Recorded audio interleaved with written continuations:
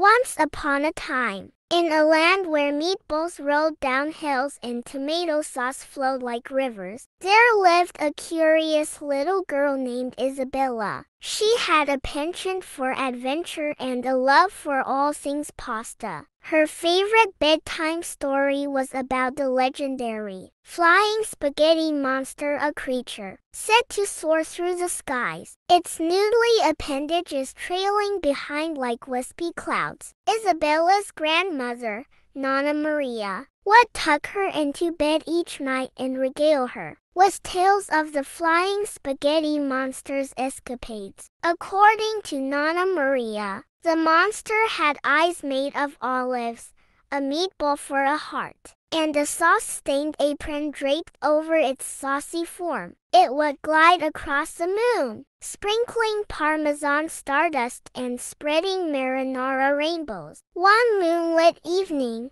Isabella couldn't contain her curiosity any longer. She tiptoed out of her cozy pasta-shaped bed, slept on her spaghetti strand slippers, and crept into the kitchen. There, she found an old, dusty cookbook the very one Nana Maria used to conjure up magical pasta dishes. The recipe for summoning the flying spaghetti monster was written in flurry cursive. Boil a pot of water until it sings like an opera singer. Add spaghetti strands and stir clockwise while chanting. Pasta la vista, Monster. Sprinkle grated cheese and crushed red pepper for extra flavor. Toss the pasta into the night sky and make a wish. Isabella followed the instructions with fervor. As the spaghetti strands twirled above her head, she closed her eyes and whispered, I wish to meet the flying spaghetti monster. Suddenly,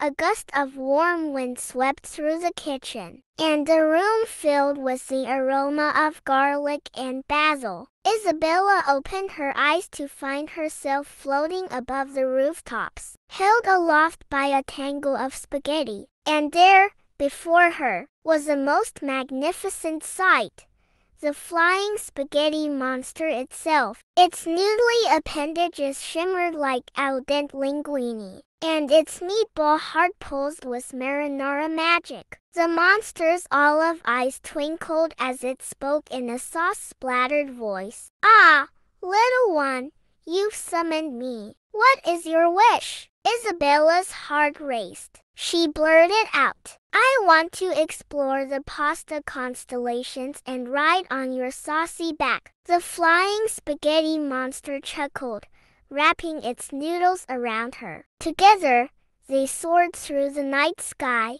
leaving trails of Parmesan stardust. Isabella giggled as they dipped and swirled, passing by the Great Ravioli Nebula and the Spaghettini Comet. Tell me, said the monster, what do you love most about pasta? Isabella thought for a moment. I love how it brings people together, she replied. Sharing a plate of spaghetti with family and friends, it's like a warm hug. The monster nodded. And that, my dear, is the true magic of pasta. It binds hearts, just as sauce clings to noodles.